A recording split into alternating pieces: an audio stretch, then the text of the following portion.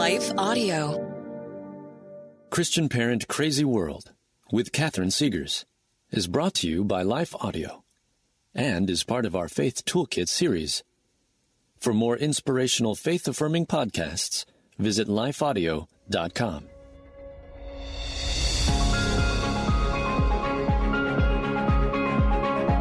Welcome to Christian Parent Crazy World, the podcast that tackles tough topics to help you be a godly parent in an ungodly world. I am your host, Catherine Segars, and in today's episode, we will tackle this critically important question How do you parent a child that identifies as LGBTQ biblically? This is a tough question. None tougher when it comes to the challenge we face as moms and dads who want to parent biblically in our culture, a culture that says we are oppressive and hateful if we don't affirm a child's choices in this area.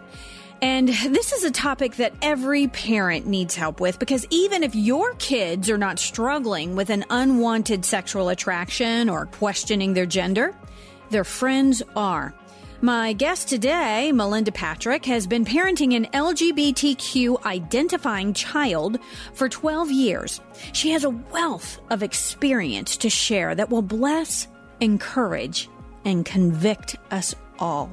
That's the plan for this episode of Christian Parent Crazy World. So let's get started. You may be familiar with the Salvation Army by the bells we ring at Christmas. But did you know that we also produce a network of Christian shows you can listen to on your favorite podcast store? One of those shows, Words of Life, is currently in a series on parenting. We'll be joined by families at all stages of parenting to hear their testimony and what they've learned along the way. We've realized that we are her first experience with faith, you know, and what she sees in us. And we're really mindful of how we react to things, on how we speak. I've always thought, like, I'm not raising this kid to just grow up, right? I'm raising them to be a fully grown adult who is functional in society. As a father, as a parent, I feel my goal in life is to share the very best parts of me. Those values that you guys instilled in us certainly is something that we give to ours. Find Words of Life wherever you get your podcasts or visit wordsoflifepodcast.org to start listening most anticipated rock holiday tradition returns. Trans Siberian Orchestra, live in concert, coming to a city near you. A legendary blend of rock, classical, and holiday music for the entire family. Don't miss Trans Siberian Orchestra, live in concert. The Ghosts of Christmas Eve. Go to tsotickets.com for info.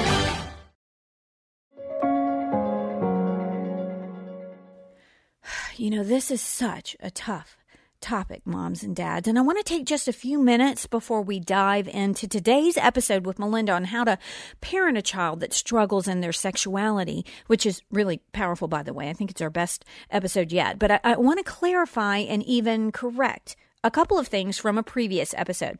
You could call this a little cleanup on all four. You know, it's so hard talking about such a sensitive topic like this. And you don't see from every vantage point. And sometimes you can miss the forest for the trees. Sometimes you don't explain everything perfectly. Hopefully, you have some people in your life who can help you with that. I do.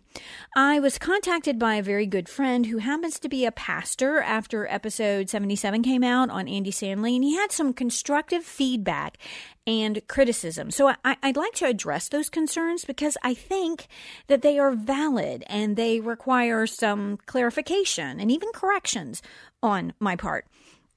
First off, you know, I came down pretty hard on Stanley's claim that God did not answer the prayers of these individuals who prayed and prayed and prayed for God to take their same sex attraction away. And I concluded that since this is a righteous prayer, this meant that God was either not good or he wasn't powerful enough to answer that prayer. And my friend really challenged me on that conclusion. And, you know, I, I think he's right.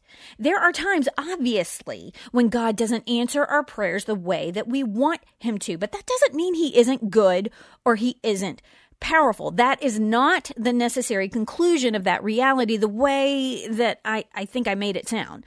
God will, however, empower us to walk through that challenging situation. And I believe that empowering is itself an answer to prayer. That is that is honestly what I meant. That was what was going through my head, but I don't think I clarified that. And look, I'd refer you to episode 70 with Andy Howard, which was on that very topic when God doesn't answer our prayers the way we hoped he would. What bothered me about Stanley's statement in his sermon, the claim that God didn't answer their prayer, was that he just left it hanging there without an explanation as to why that is. And, and that can cause someone to conclude that God isn't good or he isn't powerful enough. Of course, that would be a wrong conclusion, but it is also a wrong conclusion that God will always answer our prayers the way we want him to. And I could have inadvertently left people with that takeaway, and that simply isn't the case. Look, I don't personally know if God is going to take away all of a person's same sex attraction and their sanctification process here on earth. I don't. But I do know that God can and will empower us to live a holy life in Christ Jesus no matter what we struggle with. And that is some really good news that I wish had been in Andy Stanley's message and mine for that matter. Okay, one other major concern addressed was the issue of the circles and the lines. Stanley said that we need to minister from the circle of God's love, and he accused Mohler of ministering from the lines, which is God's standard. That is, by the way, the way that Mohler often ministers, and it sounded like I was approving of that, and, and actually, I'm not. I don't think we should minister from the lines, but I do think that we need to hold the line. And actually today's conversation with Melinda is going to go a long way to clarifying this point. But but to be clear, I agree with Stanley that we should minister from the circle of God's love. If you have a friend or a loved one or a child who struggles with same-sex attraction or gender confusion, we should always minister from that great big wide circle of God's love. As Melinda and I are going to talk about today, if you've got a child in your home who is struggling in their sexuality, but they were raised biblically, they already know the lines. You don't have to minister from the lines. You don't even have to mention them. You will hear how Melinda made that mistake with her daughter early in their journey, and it caused a lot of damage. And if you are ministering to someone who wasn't raised biblically, we still need to minister from the circle, from the love. You know why? Because they already know the lines too, because the church's position on this topic is not exactly a secret. They don't need megaphones and sandwich boards. What they need to know is God's love. But here's the kicker that being said, we must not cave on the line if we want people to walk in freedom. My concern and Melinda's concern is that we believe Andy Stanley is caving on the line when he affirms an LGBTQ identity, which was the ground we covered in episode 78. And and here's one other way that Stanley is not upholding the line. This is information that we did not cover in episode 77, but Melinda and I had talked about it before and it was kind of foundational in our understanding of what he was saying in the message. This is really important. Um, the head of the Parent Connect ministry at Stanley's Church for LGBTQ parents is a woman named Debbie Causey. She is LGBTQ affirming publicly. Causey has been at Stanley Church for over 22 years now, I think, and she is the head of all of the care ministries at North Point Community Church. She is also currently on the board for Renovus, an organization whose stated mission is affirming homosexuality and transgenderism in the Christian community. Her bio on that website starts by stating her pronouns, and in the bio she says, quote, I want every person to know that they do not have to choose between their faith and their sexuality. And it breaks my heart that so many LGBTQ plus Christians think that they do. End quote. Let me just say that all of our hearts break over this issue. They do. Mine does. But that does not mean we should affirm something that God does not affirm because that is not truly loving someone. There are other leaders at Parent Connect, like Greg and Lynn McDonald, who are also in the affirming camp as well. Let me just say that we need to be lovingly communicating with people who disagree with us on this and all issues. And I take Stanley at his word that he affirms the New Testament sexual ethic. But I, here's the rub. These people who Stanley disagrees with on God's perspective on sexuality run the ministry at his church for families who are dealing with the issue of sexuality in their homes. So while Stanley says that his church believes and teaches the New Testament sexual ethic, the leaders of his church's ministry for parents whose kids are struggling in their sexuality believe our culture's sexual ethic. These beliefs are diametrically opposed to one another. What we believe matters because it affects everything. It affects how you minister, how you love, the type of aid you will offer. This matters deeply to families who are going through this. They are blindsided by what is going on in their homes. They are hurt and confused, and they go to their church for ministry and for answers. Whose answers are they getting at Stanley's church? Are they being counseled towards the mission of the church or towards the mission of the ministry leaders? Are they being counseled toward God or the world, truth or a lie, life or death? The answers to these questions have eternal consequences. Where, where's the line? This is why lines matters. Yes, by all means, love. Love first and love large. But the line orients the direction of our love. It tells us what we are loving people to. Are we loving them to life? Or are we loving them to death? I don't want to love the next generation to death. I want to love them to life. One final thought here before we get to the conclusion of my interview with Melinda. And this is this is really important. All this talk about sexuality does necessarily move us away from the primary issue, which is salvation. So this has to be said. The issue of sexuality is secondary to salvation. Still important, but it doesn't come first. Someone does not have to get in line with the New Testament sexual ethic in order to be saved. They don't. And I would propose that most of the time, a person's sexuality doesn't get sorted out until after they get saved, sometimes long after. Remember Blake Howard, the former drag queen turned minister who I had on my show earlier this year? I think that was like episodes 59 and 60. He continued to live as a gay man for some time after getting saved. Rosaria Butterfield continued to live as a lesbian with her partner for more than a year after getting saved. Laura Perry Smalts continued to live as a man for over a year after getting saved. So I, I want to be abundantly clear about this. These precious sons and daughters of God were saved and heaven bound at the point that they came to faith in Christ Jesus. God did not require them to get all of their sin problems fixed at the point of confession any more than he does with us. That is not how it works.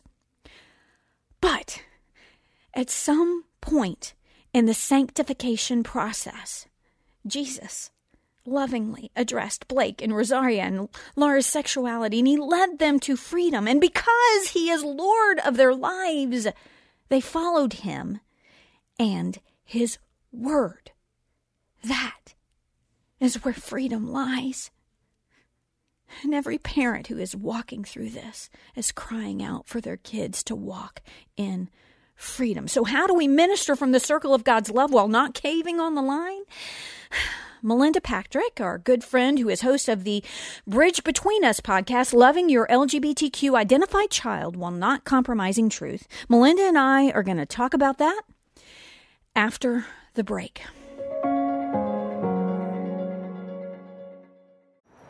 You may be familiar with the Salvation Army by the bells we ring at Christmas. But did you know that we also produce a network of Christian shows you can listen to on your favorite podcast store?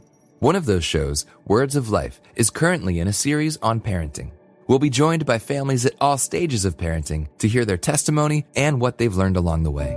We've realized that we are her first experience with faith, you know, and what she sees in us. And we're really mindful of how we react to things, on how we speak. I've always thought like I'm not raising this kid to just grow up, right? I'm raising them to be a fully grown adult who is functional in society. As a father, as a parent, I feel my goal in life is to share the very best parts of me.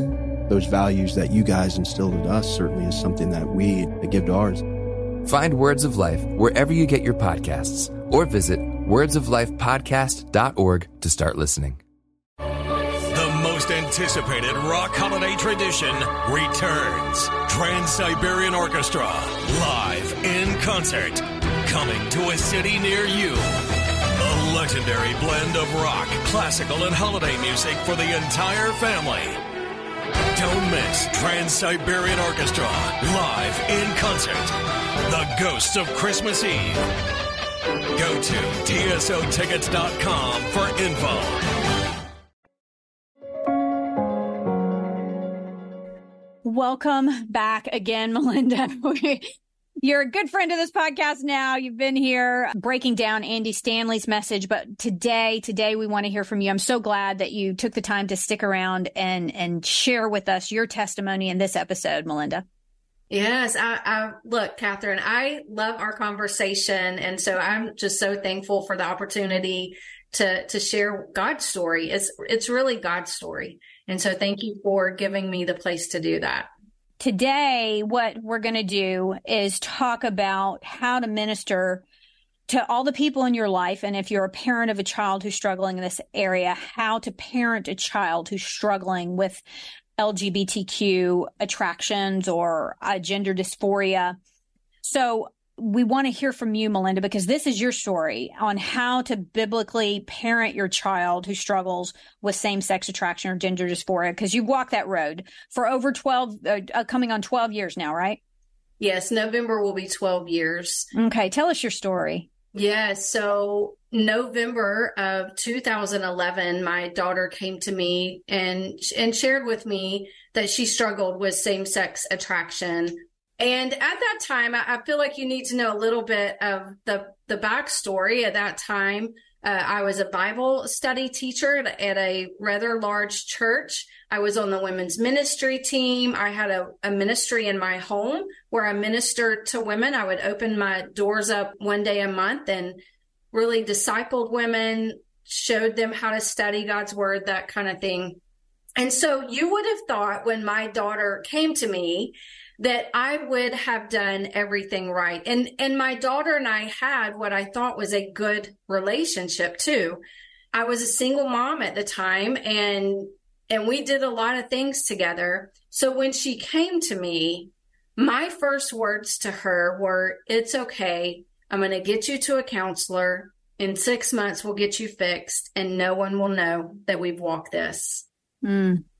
I hope all of your stomachs are turning right now, just just as mine does. Still, twelve years later, mm-hmm.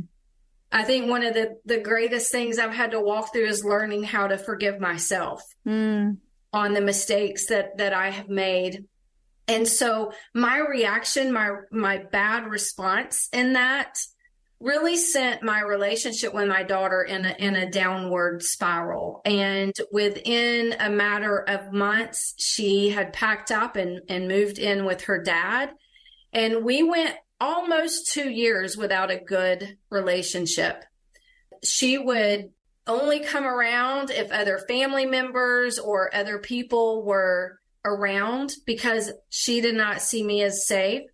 But I will also say it wasn't just me, it was also her because she didn't like the stand I was taking. She wanted me to affirm that. And I knew that that was not something, you know, it's not biblical to affirm that. So we went almost two years. And in those two years, God did a major transformation in my own life. I discovered when my daughter came out of the closet, I went in the closet and I discovered that my identity was in my daughter and my identity was not in Christ where it should have been. Yes, I was saved. You know, if I had gone, if I had passed away in those days, I would have gone to heaven, but I was finding my identity in my child and not in Jesus. Hmm. So Jesus allowed me to walk through that and just take me back down to the to the bare bones back down to the the foundation and begin to repair the cracks in, in my foundation in my belief system with him and i know he was pursuing my daughter but at that time he was really wanting to do a major work in me and i think as parents one one of the first things i could tell parents is don't miss the work that God wants to do in you. That's so good. We try to think of the miracle being what happens with our child, but don't miss the miracle in the mirror. And so, as God was pursuing my child, He was also pursuing me and bringing me through a journey of transformation as well. That's amazing. The Miracle in the Mirror. Is that a book title that you're going to have? That's yeah. awesome. I love it. no, but you know what? It may be. Uh, I have a book coming out in two and a half months called The Daring Rescue Joining Jesus Christ in His Pursuit of Your LGBT Identified Child's Heart. And so I will share, I share a lot of my story in there. But yeah, I think we become so focused on our child yes. that we forget that, hey, wait a minute, God is wanting to work on me as well. Mm-hmm. And when we shift the focus from our child back to God, that's the first big step in joining God where He's at work in pursuing our child. Is saying, okay, God, I'm here. I want to align with you. I want to set my eyes back on you. And as I follow you, I will be able to minister to my child the way you have called called me to. That is so good. And I, I do sympathize with you because it's hard. You get hit, you got hit out of left field there with your, your daughter telling you that. And, and it's not something you just quote unquote fix. It's a journey. And uh, in that sense, the McDonald's who we talked about in the last two episodes, embracing the journey, there's nothing wrong with that title it's just how you choose to embrace the journey. You do need to embrace the journey. And I love that part of that journey is what God is doing in me because really that's the only thing we have control over is ourselves and that portion of the journey. I say that while simultaneously believing that our prayers move heaven and earth. Yes. And what I would like to do at the end of the show, if, if I'm sure you would like to, just to, to say a prayer for all the parents out there and the children represented in this audience who are struggling in this area. But I know that I've had some moments as a parent where a child has come to me and revealed something out of left field and you're you're looking at your child and you're like what do i do? And one thing that i can remember one time with one of my kids the lord just i think it was the holy spirit. And i've said this on here before. I've said it in the previous two episodes. I'll say it again because i think it's so good. This is straight from the lord. I looked at i can remember one time look at my child and just saying first of all i would recommend if a, if a child comes to you and tells you they're struggling this area commend them for their courage in telling you. Absolutely. That that is a beautiful bridge that you can build and then tell them there's nothing they can think, say or do. Yes. That will separate your love from them, that you will love them regardless of what they think, say and do and why do you love them that way? Because that's how God loves them. Yes. God loves them unconditionally. But as we talked about in the last couple of episodes, because he does love them unconditionally, and as do we, we do draw some lines and we want to affirm what is going to be healthy and holy for them, not just what they want to embrace or not just how they feel. We can feel any number of ways. We would never, I mentioned this in a previous episode, we would never embrace a child who thought that they were fat and we're anorexic and wasting away. We would never embrace that idea in their head that they were something that God didn't create them to be. We wouldn't embrace that lie. So we need to embrace the truth. But first and foremost, the foundation of the relationship needs to be secure so that they know that their, your love is not in question. There's nothing they can do. There's nothing they can think. There's nothing they can say that will change that. So, where did it go from there in your journey with your daughter? Yeah. So, you said something just a moment ago that is so true. And I think it's something that we really need to, to pay attention to and to take to heart. We can only control one person on this journey, and that is us. Mm-hmm. I don't care how old your child is. And I know that there are certain things that we can do when we have a child that's still living at home that we can't do. Our parenting changes. Yes. You know, as our children get older. So wherever you are on the parenting schedule, either way, we still can really only control one person. And that, that is me and that's you. Right. And so we have to trust the Holy Spirit to move and to work in our child's life. Scripture is very clear the role of the Holy Spirit to to open the eyes of the blind, to create hunger and thirst for righteousness, to lead to salvation, to draw them to the heart of the Father. They, those are things to to cause them to repent, you know, bring them to a spirit of repentance and forgiveness. Those are things only the Holy Spirit can do. Yes. And so what can we do? Mm-hmm. We can we can love our children. We can take care of our heart wounds because we parent out of the wounds of our heart. That's how we live our lives. So if we've been injured wounded somewhere in our heart we're we're more than likely going to be defensive or protective in that area. So while your child may not be wanting to get help while your child may think they're living their best life now is the time for you to be getting your your wounds the wounds of your heart healed to dig deeper in who Christ is to know the character of God i can't stress how important that is we need to be able to go to scripture and say you know, just like Psalm 118, I love the Lord. You are my strength. The Lord is my rock, my fortress, my deliverer. My God is my rock in whom I take refuge. And David knew those things because God had rescued him. So we need to know the character of God. We need to be willing to take care of our heart wounds. We need to face, as I talked about this in the last episode that we did, we need to be able, me, need to be willing to face our own spiritual disappointments. Mm-hmm.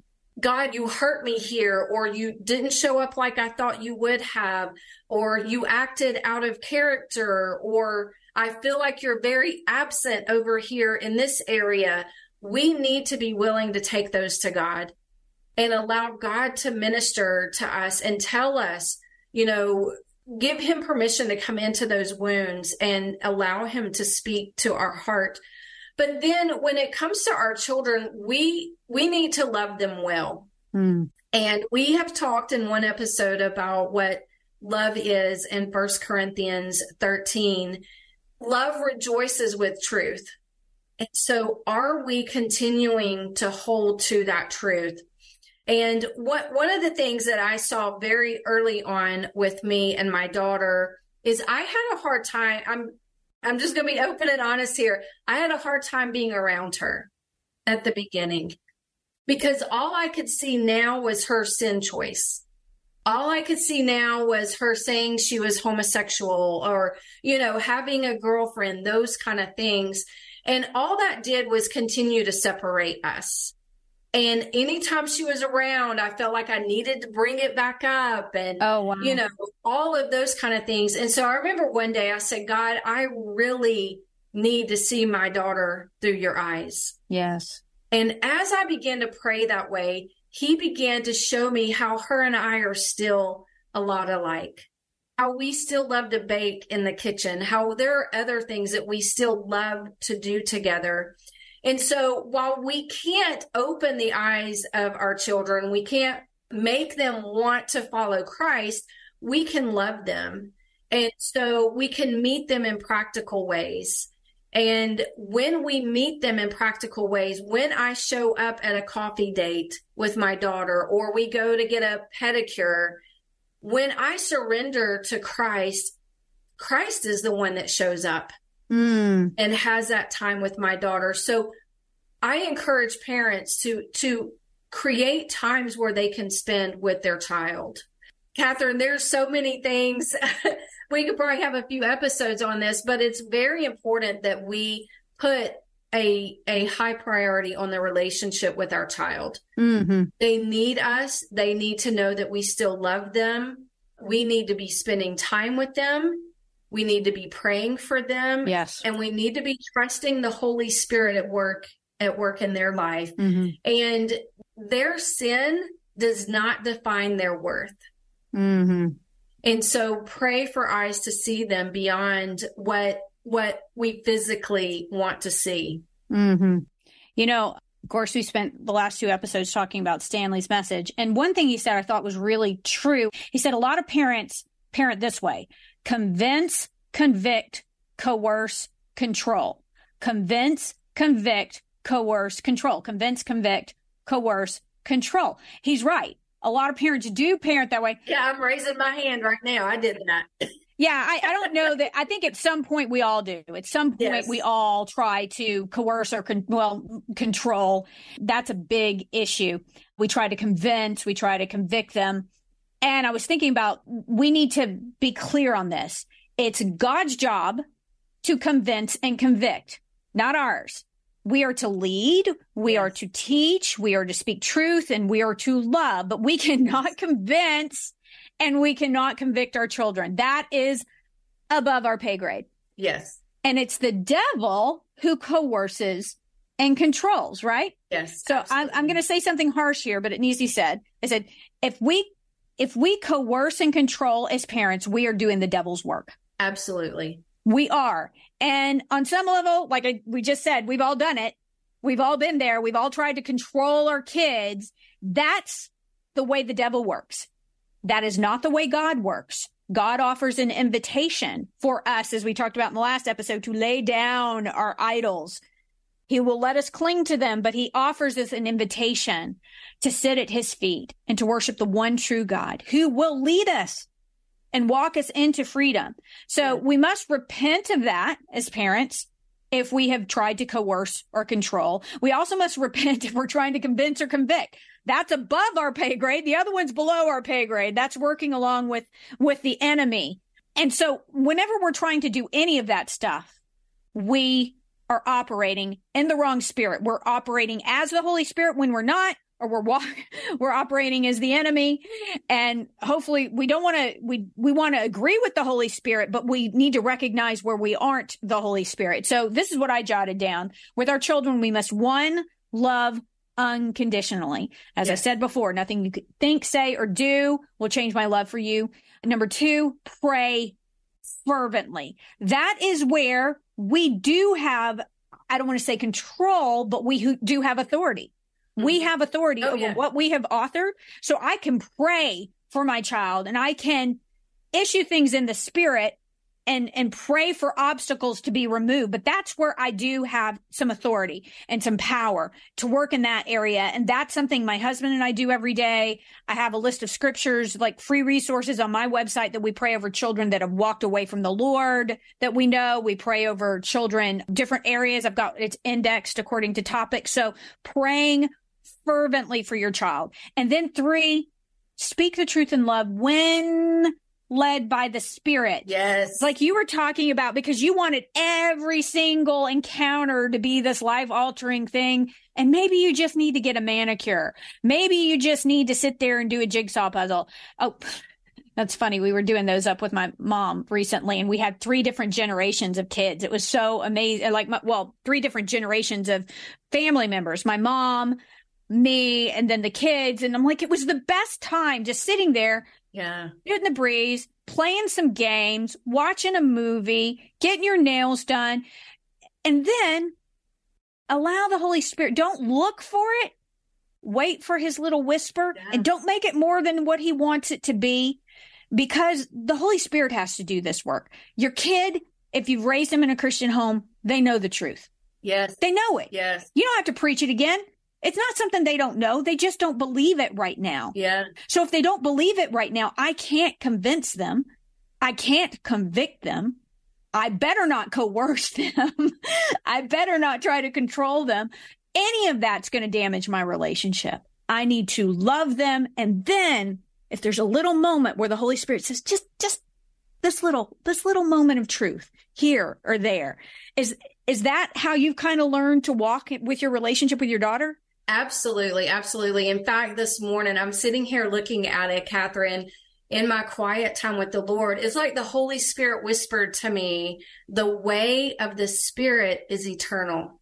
Mm-hmm. And when we try to take matters into our own hands, scripture is very clear that what we do in the flesh will be burned up. It is temporal.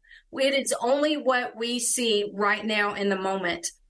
But when the Holy Spirit is at work and moving, and we move and respond with the Holy Spirit, the work the Spirit does is eternal. And that is what we want happening with our kids. Right. I don't want my daughter coming to me next week or whenever and saying, "Okay, mom, I'm I'm not going to be homosexual anymore. I'm going to start dating guys." I mean, that's all good and well, but but Catherine, the the bottom line is my prayer is not for my daughter to be heterosexual. Thank you. Yes. My prayer is for my daughter to be holy and to be in a right relationship with the Lord Jesus Christ.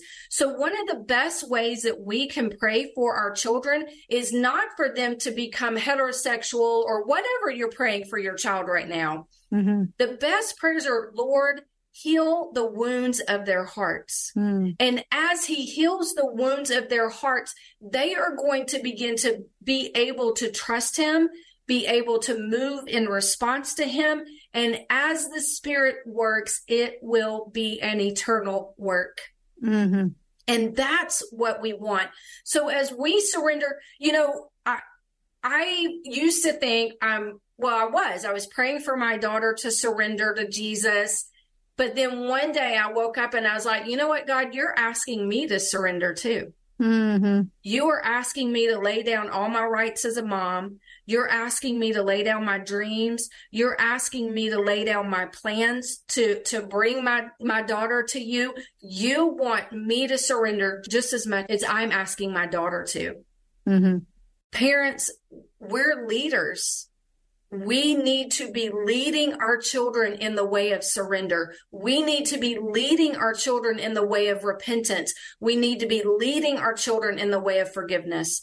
I had to repent of my pride. It's not just the LGBTQ that has pride. Mm-hmm. I was very prideful in my ways. I didn't see God working like I thought he should. So this pride in me rose up and was like, well, that's fine. I'll, I'll fix it this way. We need to be those who, who teach our children what repentance looks like. We need to be able to go. I went back to my daughter and said, Hey, these specific things that I said to you, I am so sorry. Mm. I know that hurt you. I apologize. I, I said these things. I was acting out of the flesh. And the last thing I ever want to do is hurt you. And I am so sorry. Will you forgive me? If we cannot be the first ones to go and ask for forgiveness from our children, how are we going to teach our children what forgiveness looks like? Mm. And so as we lead this way, we lead through repentance, forgiveness, healing. And as we do that and lead through surrendering, our children are going to be watching Mm. and they're going to notice the, the change. Jesus Christ is transforming me too. I am not the same person I was 12 years ago. And I thank God I am not. And so is my daughter seeing through me that Jesus Christ is a living savior who still transforms lives. I can only do that as I surrender. And as I do, I allow the Holy Spirit room to move and to work and to love on her and to meet her where she is. God, how can you use me today to be a part of the healing in my daughter's heart? Because I tell you, I have spoken words that were not kind and I had to go back and ask for forgiveness. But Jesus, I firmly believe, Catherine, that God has entrusted this journey to us as parents. Mm-hmm. And as we engage with Him, He will equip us for everything we need on this journey. Yes. We have to know we've been entrusted. God knew my daughter. According to Psalm 139, he knew our children before he ever placed them in the womb. And perhaps you're an adoptive parent today. God knew that child before that child was ever placed in your arms. He knew the parent the child was going to need, and he knew the child each parent was going to need. My life has been changed. I have been transformed on this journey. Mm. I would not have chosen this. But do I really believe that God is a sovereign God and that He has entrusted this to me? Now I am called to be a good steward. You know, in, oh, I cannot even remember the scripture. You're really good at that, that, Catherine. But, you know, we were reconciled back to God through Jesus Christ. And because of that, we now have the ministry of reconciliation. Yes, yes. We are ambassadors of Christ. Are we living that out? I had that one memorized. The address is escaping me. I want to say Colossians, but I'll look it up. I yes, I think it's Colossians too. But we we have a higher calling than mom, dad, grandparent, mother. I mean, sister, family we have a higher calling than that, and that is to be a minister of reconciliation, an ambassador of Christ. We are to be employing to the world, be reconciled to God. And we can only do that by living surrendered lives to Him and allow Him to be moving in and through us. He is the one who draws all men unto Him, and we need to give Him the room to do that. Oh, that is so beautiful. I teared up while you were talking. It's so, so beautiful. And the one thing that came to mind, obviously, the virtue that they have claimed for the LGBTQ movement, which of course isn't a virtue, but their virtue is pride. Right. It's pride. That's what they claim. It's pride. Of course, we know that God hates pride. He detests pride. But of course, they're saying it's pride in their identity. It's pride in their identifying themselves by their attraction. But what then must we move in as Christians? Opposite spirit. We have to move in the opposite spirit, right? Yeah, I mean, that's just science right there. Every action has an equal and opposite reaction, and it's that equal and opposite reaction. What is that? Humility. Yes. We have got to be walking in parents. And that's what I heard just laced all throughout your beautiful yes. comments is that we must walk in the body of Christ and as parents, whatever our kids are struggling with, in a spirit of humility, especially when it comes to this issue of LGBTQ, because they're claiming pride in it. And in order to counteract the pride, we will walk, we must walk in humility. And that means owning those places where we have made mistakes, where we have harmed, where we have injured, where we have not reacted correctly and learning how to walk in humility and not the visual that comes to mind has become like the Amway salesman for God, you know, to where every encounter has to be, you know, when you've been around somebody who's doing multi level marketing, no offense if that's what you do out there, but you know, when everything turns into a conquest, everything turns yes. into an opportunity to sell something. I, I saw myself doing that with one of my kids recently where I was just like peppering something in there and I'm like, oh my gosh, it was total Amway there.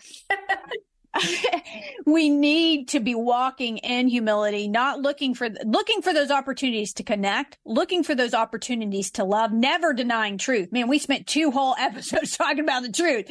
We're not denying that. But if no. your child, like I said, is not walking with the Lord, whether it's this issue or another issue, if they're not walking in the Lord, it's not because they don't know the truth. They know the truth. You don't have to beat them over the head with that anymore. They know the truth. What they need to know is do you love them even if they don't believe the truth? Yes. I think I think if there was one thing that we could really hone in on on this journey as parents and that we could really practice, that we could really study, that we could learn the art of, it would be to be a good listener. Mm. Humility requires listening.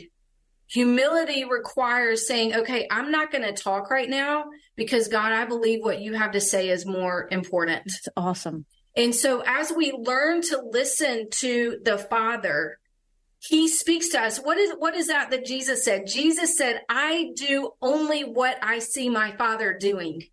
And as we learn to listen to the Father and we allow the Spirit to move through us, we're going to be able to minister to our child.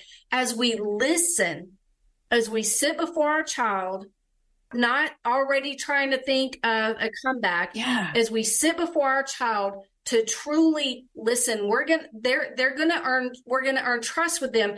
We're gonna hear the backstories. We're gonna hear their wounds. We're going to hear their heart. We're going to hear where they've put up a defense. We're going to hear the lies that they believed. And then we are going to be able to go back and target those things in prayer. Mm-hmm. Yes. If I, it, I wish, oh, Catherine, I wish. One, I wish I would have only said three words to my daughter that day. I love you and I'm here with you. I'm going to walk with you through this. I'm not going anywhere. And this is a journey we're going to take together. I wish I would have said that. And I wish I would have sat at her feet and said, Thank you for entrusting your heart to me. Thank you for giving me your deepest struggle and your wounds. And I am going to hold your heart. I'm going to care for your heart. And we are going to walk this together, whatever it looks like. I wish I would have just sat at her feet and listened. But thank God he's a redeeming God. And as he's brought healing in my heart, I have been able to go back to her and ask for forgiveness. And we've had those conversations. And God showed me in that because I know there are many parents listening today that are like, oh my goodness, Melinda, I have messed up so bad. God is greater than our biggest mistake. Mm-hmm.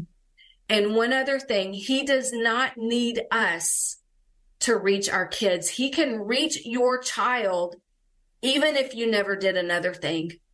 God is the hound dog of heaven and he is in hot pursuit of your child, just as he is in hot pursuit of you too. This journey is 100% about your child and 100% about you. You allow God to do what he needs to do in you, and he will be also working and pursuing your child as well. Uh, I want to end this this episode in prayer for the parents out there that are dealing with this and the children that are dealing with this.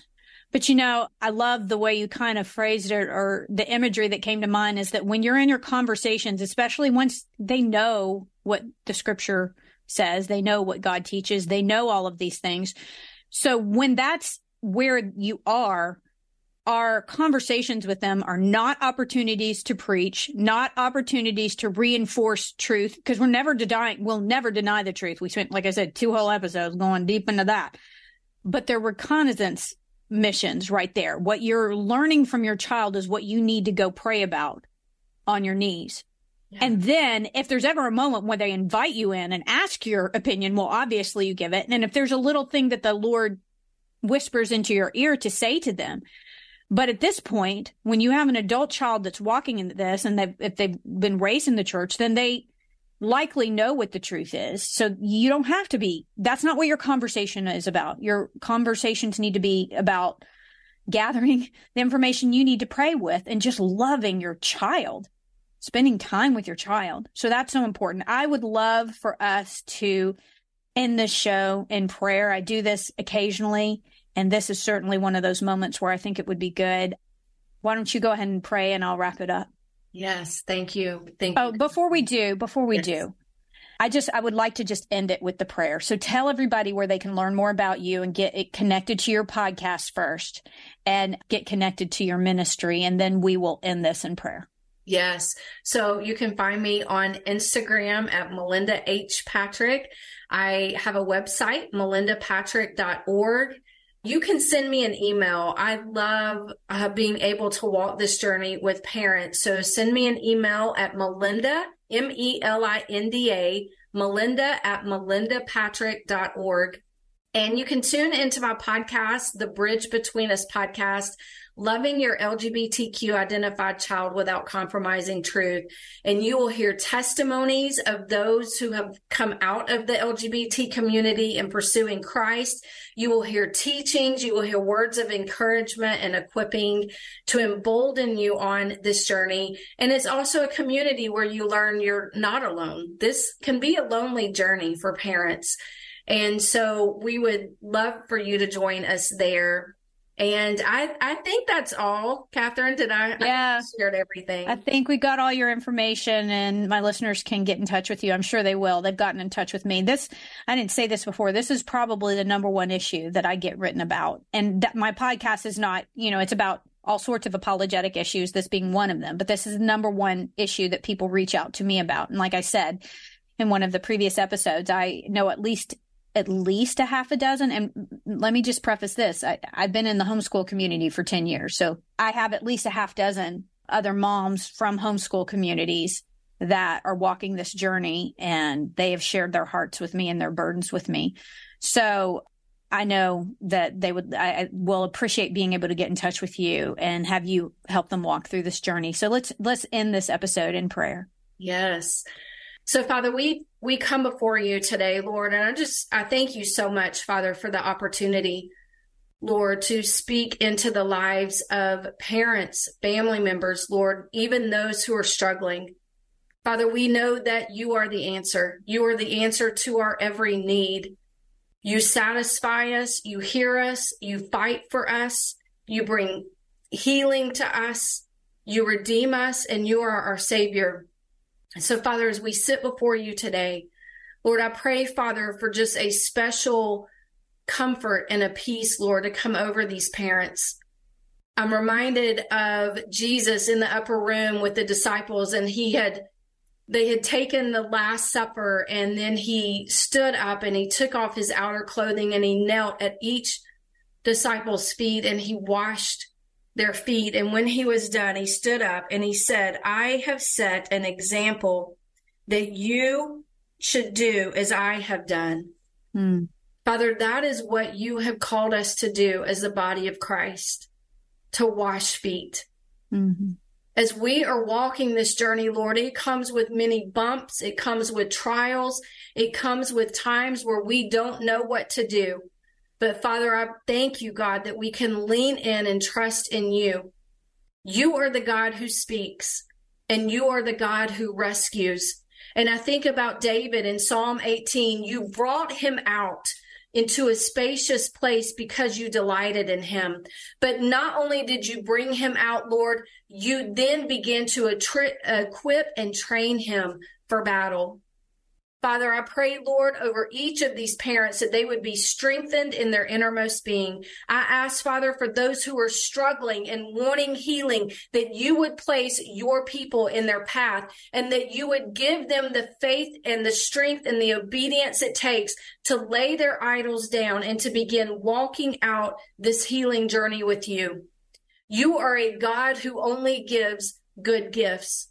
And so, Father, I pray, Lord, a blessing over this community. Lord, I thank you for Catherine. I thank you for her stand for truth and grace. I thank you, Father, for her voice and this platform that you have entrusted to her, Lord, and how you, how she is using it, Lord, for your glory and for the strengthening and the equipping of the body of Christ. Oh, how much we need this today. Mm. Lord, we ask that you would be glorified and honored for the parent that is wondering right now or the struggler, are you trustworthy? Father, would you open their eyes today and Mhm. remind them of where you have been with them all of their life? You are a trustworthy God. And so, Father, we commit our loved ones, we commit even ourselves to you today. And we ask, Father, that you be glorified and honored in Jesus' name. Amen. I stand in agreement with everything that Melinda prayed, Lord. And as she was praying, I just had this sense, you know, I think what the LGBTQ community thinks the church wants to do is just kind of call them out before a holy judge and sentence them. No, no, a thousand times no. The Spirit of God wants to cover us. The Spirit of God wants to cover every parent that's walking this journey right now with their child. The Spirit of God wants to cover every child, every human being on the face of this planet that is walking this journey right now. And He wants to say, I love you. I died for you. Let me be the Lord. I promise you, I have a good future for you. I have a good future. I have good things planned and I have freedom ahead available. If you will let go of your identity that's found in anything other than me, let go and allow me to be your Lord. I am a good God. My yoke is easy. My burden is light. Let me take that for you so that you can walk in freedom. Yes, I've expressed the ways in which we walk in freedom in the Word. He has. He's expressed those ways in His Word. But that way is the way of freedom. But let Him love you. Let Him adore you. Feel your proud Papa up in heaven surrounding you with his love and let him take everything out from you that is not of him and become your Lord so that you can walk in freedom. That's what he wants for you. That's who he is. And yes, his truth, as he said, will set you free. But experience his love first. It's the kindness. It's the kindness of God that draws us all to repentance. So, Father, I pray that every parent out there that's walking this journey can feel your love. I pray that every child out there that's walking this journey can feel your love. And then have the courage to embrace your truth and walk in freedom. In the name of Jesus, we pray. Amen. Amen. Amen. Moms and dads, if someone you know is parenting a child who is struggling with their sexuality and they want to walk biblically in freedom, please share these episodes with them. And don't hesitate to reach out if you need encouragement or prayer. My email address is Catherine at CatherineSegars.com. Either I or Melinda would be honored to hear your story and to pray with you. I want to thank you for joining me today. Look, I know there are a lot of things you could be listening to right now, and I really appreciate that you took this time to spend with me. I hope you will join me for my next podcast when we take aim at some aspect of our culture that threatens to derail our parenting and steal our kids' faith. If you enjoyed this episode of Christian Parent Crazy World, would you consider telling a friend and sharing it on social media and giving it a good review over on Apple Podcasts and Spotify and following me on Facebook and Instagram? Oh, oh, and maybe you could say that Christian Parent Crazy World is the best podcast you've ever heard in your entire life. Uh, just a thought. Uh, and be sure to check out my website, which is CatherineSegars.com. That's Catherine with a C. I have lots of articles and resources there that will help you on your parenting journey. And if you subscribe, I will be sure to send you some really cool free stuff and notify you of future podcasts, articles, and blogs. I want to end this and every episode with a word of encouragement. God gave you your kids, your specific kids for a reason. That's because you hold the key to unlocking who God created them to be. We'll see you next time.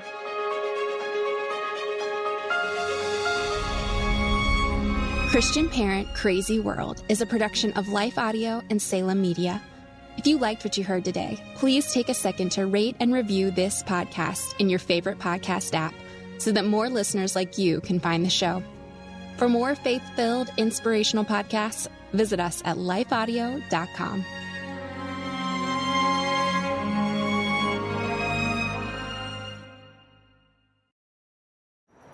You may be familiar with the Salvation Army by the bells we ring at Christmas. But did you know that we also produce a network of Christian shows you can listen to on your favorite podcast store? One of those shows, Words of Life, is currently in a series on parenting. We'll be joined by families at all stages of parenting to hear their testimony and what they've learned along the way. We've realized that we are her first experience with faith, you know, and what she sees in us. And we're really mindful of how we react to things, on how we speak. I've always thought, like, I'm not raising this kid to just grow up, right? I'm raising them to be a fully grown adult who is functional in society.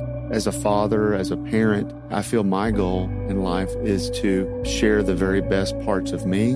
Those values that you guys instilled in us certainly is something that we give to ours.